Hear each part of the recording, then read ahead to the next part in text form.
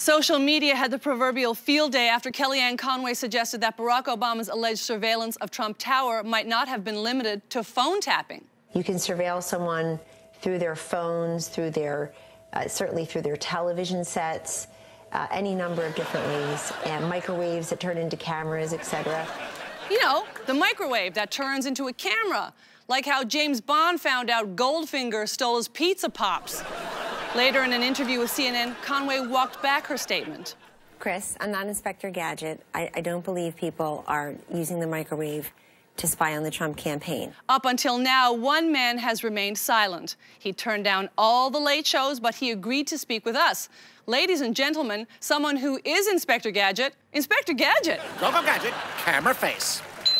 Kellyanne Conway says she's not you. That's obvious. She's bumbling and clueless, and yet somehow she keeps managing to succeed, whereas you... Wait a second, are you Kellyanne Conway? I could be, only no one has ever called me bumbling or clueless. Or Kellyanne. Inspector Gadget always succeeds because he has a brain. You're right, your little dog. How do you know about Brain? Oh my God, I love Brain. He's so funny. Listen, have you ever used a microwave to spy on Dr. Claw? you know about my go-go gadget microwave too? What else do you know? Uh, see, I know you have a female advisor who does all the work and is always getting you out of trouble, but you take all the credit. Oh, come to think of it, you're more like Kellyanne Conway's boss.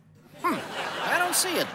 But I do feel as though I'm being watched. A lot of people watch you. I watch your show all the time. Wowzers! You must be a mad spy! Help! Police! You're the police. Exactly. And you're under arrest. Go-Go Gadget handcuffs.